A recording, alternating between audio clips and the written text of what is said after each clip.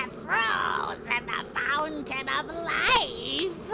Oh, that was good. We have made evil. Let's bring the darkness down.